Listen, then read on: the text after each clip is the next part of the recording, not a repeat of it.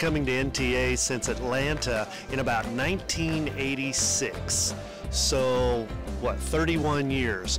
And we come because we build long term relationships with folks in the tour and travel industry so that we can do a couple things. We can thank people who do business with us already and find out if there's additional opportunities.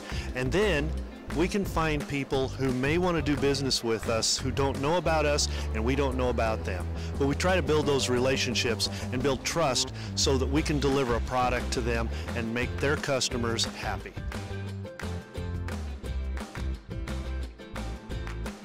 Having that face to face, meeting that, having that connection and meeting those people, it means so much to, to us and to them to be able to have that relationship. It's building relationships most of the connections you make are, are out and about and uh, gosh NTA throws a great party so that definitely helps.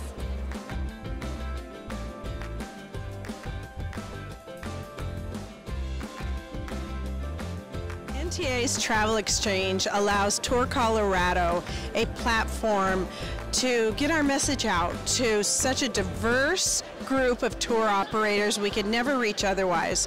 And we do that all at one place at one time. We wouldn't miss it. Now we're going to get ready for San Antonio, so we look forward to seeing you there.